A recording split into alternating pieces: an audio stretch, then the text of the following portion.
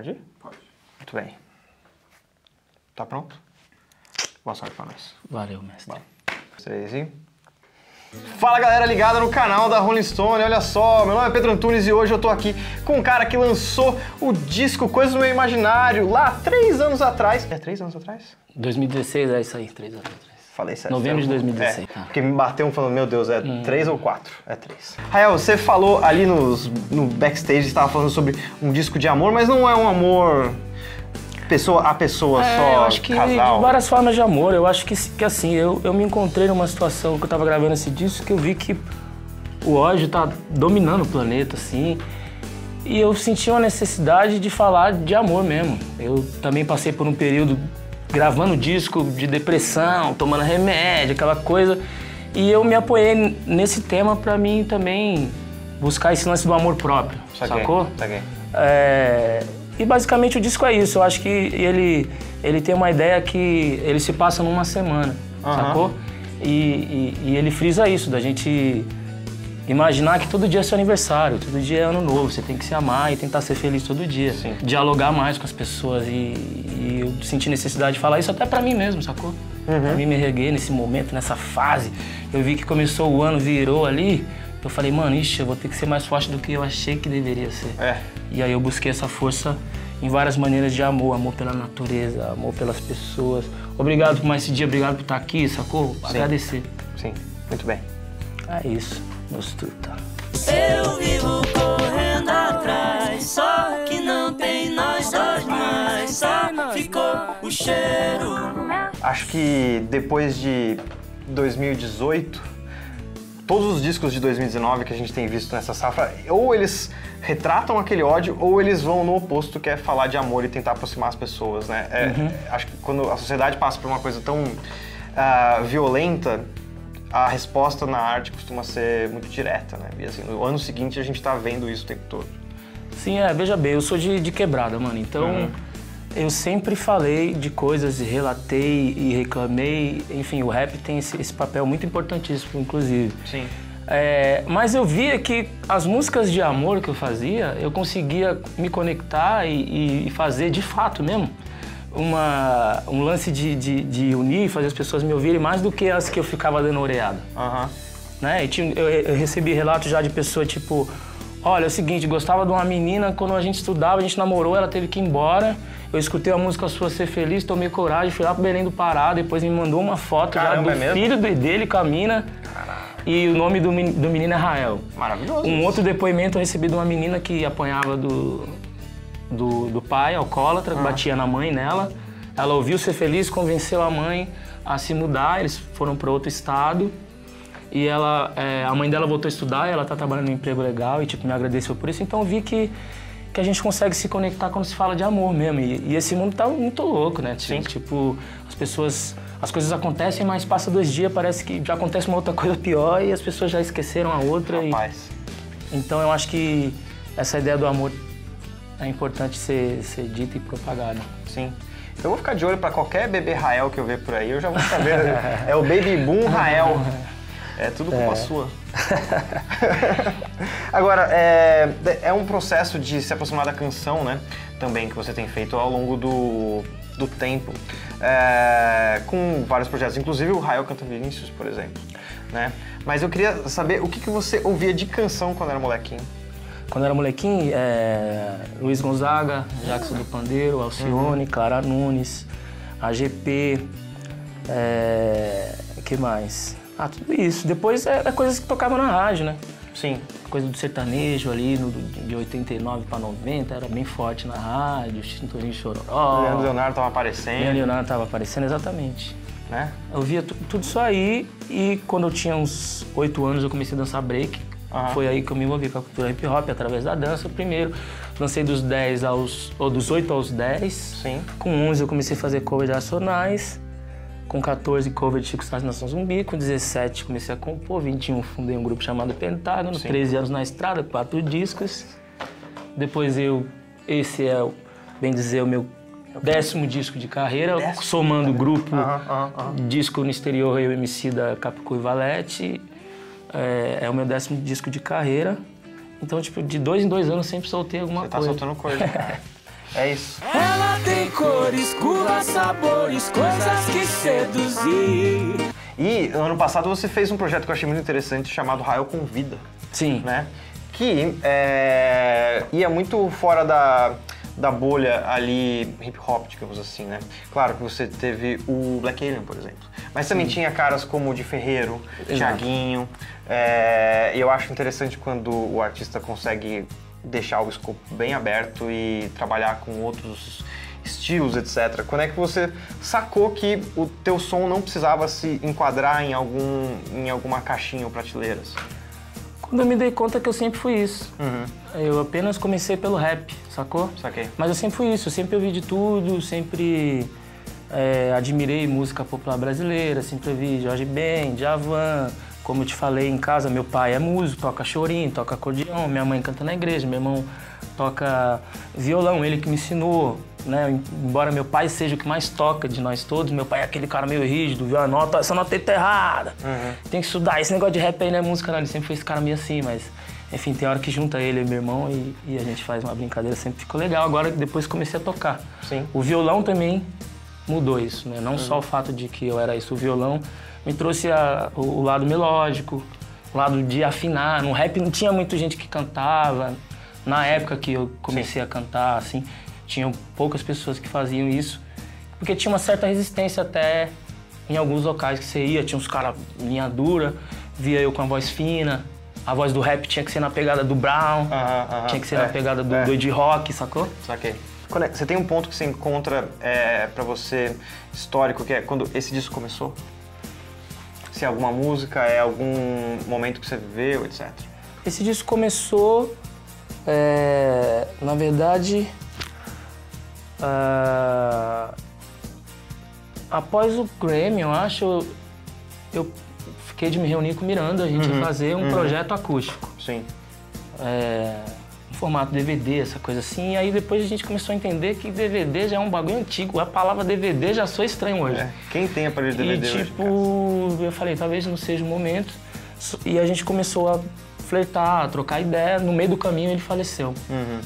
Então aquilo me deu uma mexida. Fiquei meio órfão, fiquei tentando procurar alguém, tentamos fazer outras coisas. Aí rolou aquela coisa de, de caixa, Sim. né? O problema Aham. do músico e dinheiro. Sempre as pessoas acham que, É que nós é rico pra jornalista bancar também. todo o projeto, mas não é assim. É, E aí eu falei, mano, vai ser eu e eu mesmo. Então eu comecei a. Aí o disco nasceu ali. Na hora que eu falei, mano, vai ser eu. Sim. Agora, você começou o, o ano de 2019 com Flor de Aruanda, né?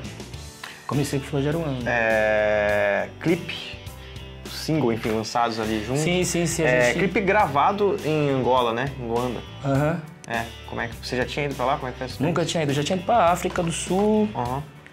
é, e, mas Angola nunca tinha ido. Países da África que falam português nunca tinha ido. Já fui pra, pra Tanzânia, pra Zimbábue, pá, mas eu nunca tinha ido pra países de lusofonia, né? É, pô, foi do caramba, porque assim, foi uma coisa que tinha que acontecer. Eu tinha música já, né? Foi Ah, de já tinha Aruanda. música, tá. É.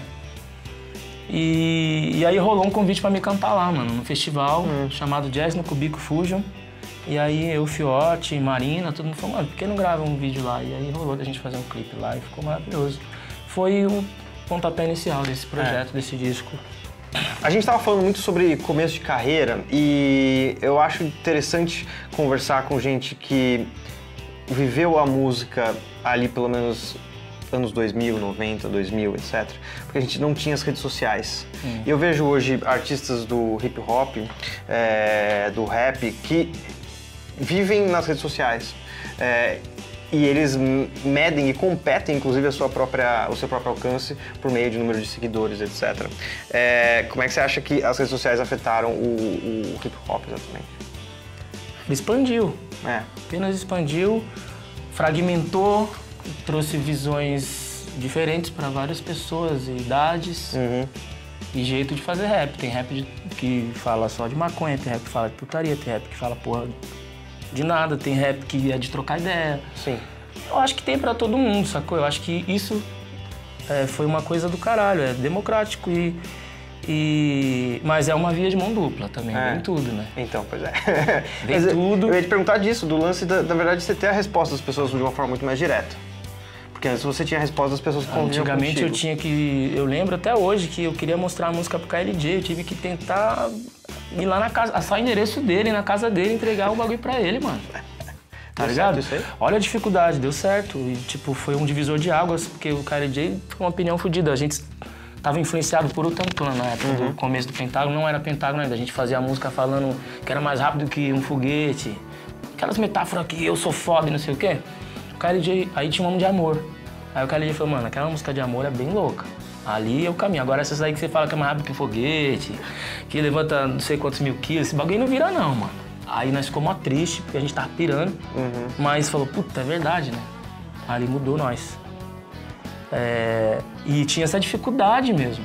Eu Ok. fico pensando, como é que eu passei por tudo isso? Então, Porque assim, eu sou da geração que eu comecei ouvindo Racionais, Racionais me resgatou minha identidade, eu comecei a ir pros shows e comecei a acompanhar. Então eu fui público, depois eu comecei uma carreira, depois passei por um grupo, né? Eu tive, acompanhei o Criolo, por exemplo. Criolo eu conheço o Criolo desde os 14.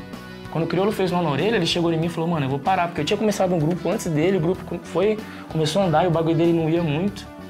Né? Olha tanta coisa Sim, que sim, sim. acontece. É, é. O MC era meu fã, o MC era meus shows, ele fiote lá na frente. Hoje em dia, os caras, dono da empresa do qual eu faço parte do cast, olha Sim. tanto de coisa que aconteceu. É. Por causa da internet. é, sim. Não tinha uma- um espaço pra isso, não tinha uma cena pra isso. Era tão carente que teve uma época que o rap, os eventos que tinha foi proibido, porque morria gente dentro, morria gente fora, quebrava os carros em volta. É.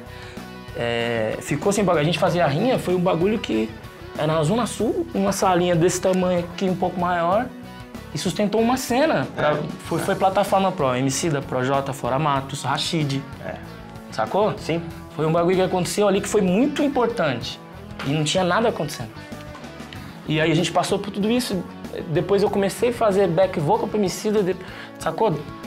Aí eu fico falando, mano, é uma... Um Charles Darwin da... da- Porque assim, tinha 50 mil grupos de rap naquela época, na quebrada, toda esquina tinha um. Sim. É muito louco isso. E, e eu vejo que a internet facilitou muito a difusão. Né? Hoje eu vejo vários grupos fazendo turnê pra fora do país, todo final de semana tem show, não tinha isso. É isso, só que também tem uma, uma coisa, esse negócio do número que você falou e tal, às vezes eu vejo que é muito isso online. É, sim. Às vezes offline muitas coisas não acontecem ali. É. Tem neguinho que tem seguidor pra caralho, mas você vai no show do cara, não, não fecha a bilheteria, Sim, ou sim, o cara sim. é mais isso ali, ou então o público dele ainda não tem idade pra, Ou às vezes não tem show, a grana de cobrar, de pagar o grana pra- ingresso. é. Que...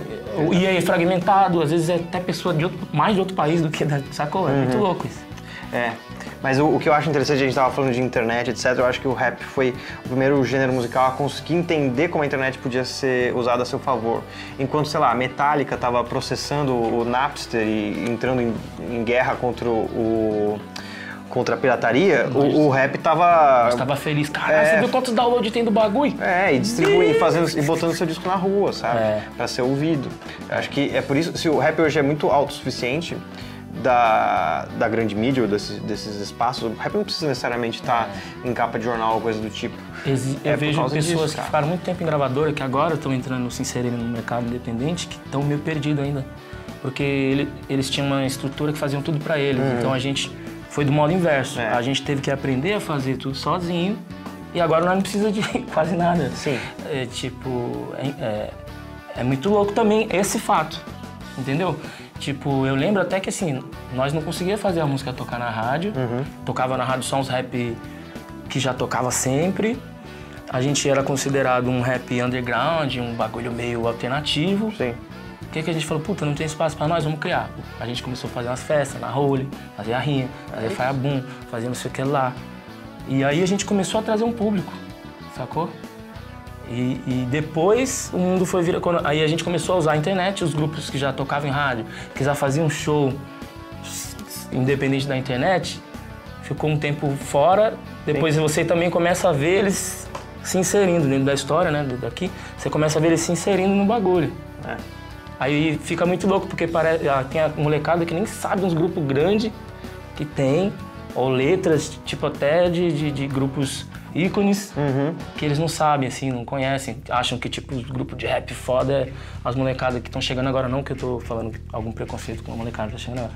Tô dizendo da história toda mesmo, o que, o que aconteceu agora, né? O agora, ele tá bem assim, tá bem meio indefinido, porque a internet também é isso, parece que é um experimento.